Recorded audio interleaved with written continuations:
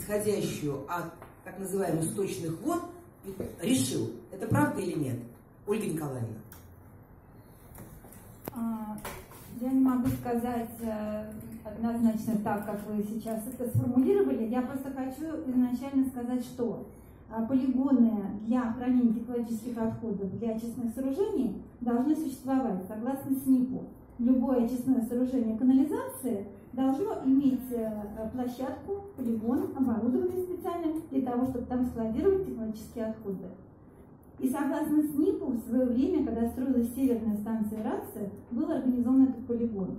И полигон этот был организован в том месте, которое было указано в соответствии с строительным планом, то есть вдали от городской застройки. Там действительно была лесополоса.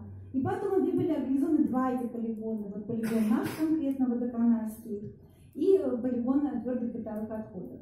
Значит, то, что дальше были даны разрешения на строительство этих новых эм, значит, районов, которые приближались в конечном итоге с городу, и город приближался, вернее, к нашему полигону, это уже, скажем так, э, наверное, была проблема не наша, да?